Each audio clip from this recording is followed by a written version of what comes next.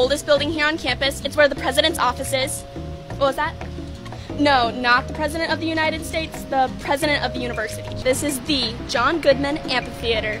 He's Sulley like Monsters Inc. This building used to be Temple Hall. Now it's called Blunt Hall. We got construction. So this is our fountain. Um, do people climb in the fountain?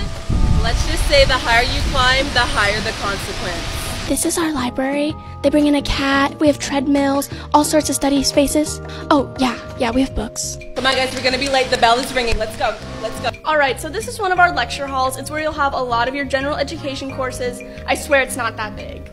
Hey! And this space over here, ma'am. Ma'am, you need to come out of the. Ma'am, ma'am, the bike lane. You're so boomer. Can you tell prospective students how they can register for summer visit days?